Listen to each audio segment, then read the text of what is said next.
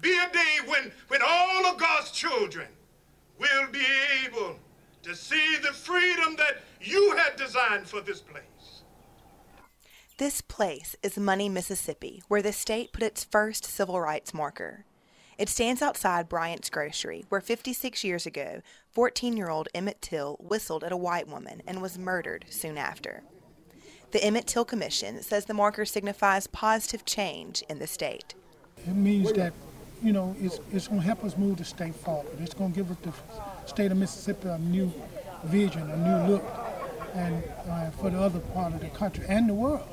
All that remains of Bryant's Grocery is broken boards and kudzu covered walls. The memories of that day, however, still remain. Emmett Till still speaks 56 years later. Emmett Till's cousin, Reverend Wheeler Parker Jr., was with Till that day. He had the honor of unveiling the marker. I think this marker shows us how far we've come, what we can do, and where we can go. Other members of the Till family were among the large crowd gathered to witness the event. State and community leaders spoke about the significance of the marker and what it will mean for the state.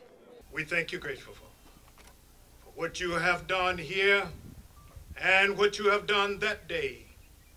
That day when one young man gave his life, that others might be able to live, and we want to thank you for it. One marker, the first stop on a long road to racial reconciliation. Reporting, I'm Margaret Ann Morgan.